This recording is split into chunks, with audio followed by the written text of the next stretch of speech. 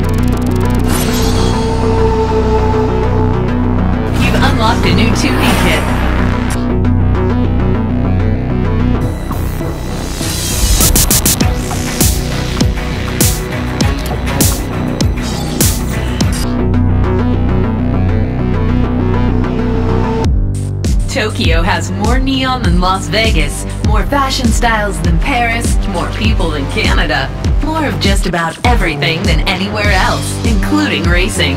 So if you want to make a mark here bigger than a grease stain, get ready to pour on more speed than you ever have before. But keep your eyes open for obstacles, or all that speed will grind to a screeching halt.